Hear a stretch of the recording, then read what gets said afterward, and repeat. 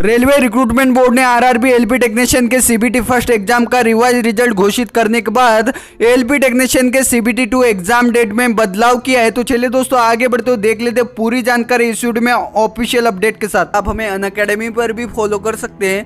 अन एक इंडिया का largest learning platform है, जहाँ पर आपको रेलवे एसएससी बैंक की तैयारी कराई जाती है।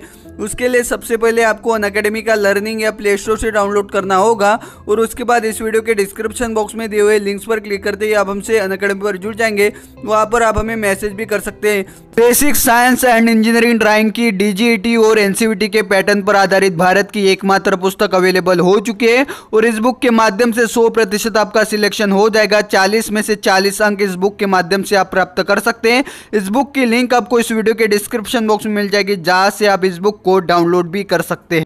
दोस्तों, अगर आपने एलपी टेक्नीशियन की सीबीटी फ़र्स्ट एग्ज़ाम क्वालिफाई कर लिए तो दोस्तों, आप सभी के लिए हमारी गवर्नमेंट जॉब सोल्यूशन फैमिली की ओर से आप सभी को कॉन्ग्रेचुलेशन दोस्तों 4 दिसंबर 2018 को रेलवे रिक्रूटमेंट बोर्ड ने अपने ऑफिशियल वेबसाइट पर नोटिफिकेशन जारी करके बताया था कि एलपी टेक्नीशियन की सीबीटी टू एग्ज़ाम इक्कीस, बाईस और तेईस जनवरी दो हज़ार उन्नीस को ली जाएगी।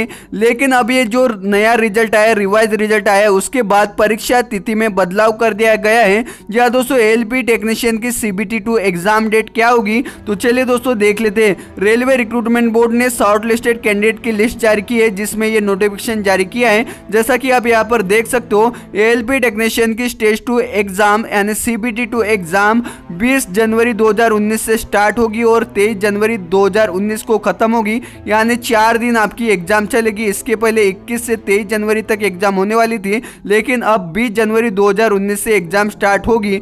दोस्तों, ये एग्ज़ाम डेट पोस्टपोन होनी चाहिए या नहीं, आप हमें कमेंट बॉक्स में बताइए, क्योंकि एक मंथ में प्रिपरेशन नहीं हो सकती सीबीटी टू एग्ज़ाम की। कंपटीशन काफ़ी टफ हो चुका है। या दोस्तों एलपी टेक्नीशियन के स्टेज टू एग्ज़ाम के लिए सभी महत्वपूर्ण किताबें उपलब्ध हो चुकी है, जिसके लिए आप हमें कॉन्टैक्ट कर सकते हैं स्क्रीन पर दिए गए नंबर पर, या आप इस वीडियो के डिस्क्रिप्शन बॉक्स को चेक कर सकते हैं और वहाँ से आप बुक को डाउनलोड कर सकते हैं।